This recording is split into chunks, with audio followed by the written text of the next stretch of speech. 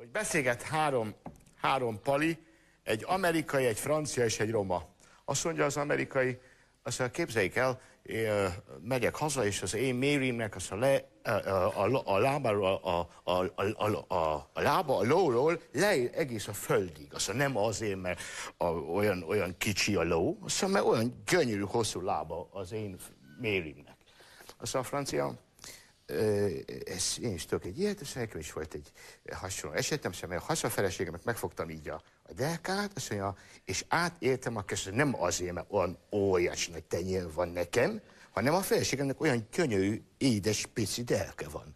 Azt mondja a Roma, na most én is mondanék valamit.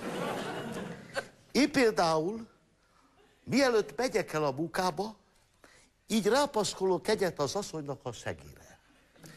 Mikor hazajövök, akkor még mindig remeg. De nem azért, mert az asszonynak akkora hatalmas nagy szege van, hanem azért, mert olyan hamar hazaérek a munkából.